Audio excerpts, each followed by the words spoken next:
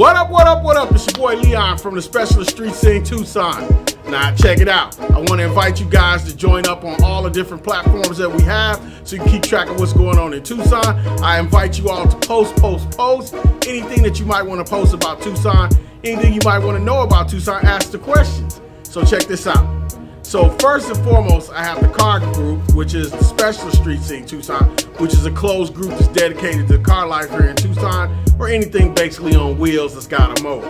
So please check out the, the parameters, join the group, let's add to the fun, post pictures as much as you can, and if you got comments the positive, post them. If you don't, please keep it to yourself.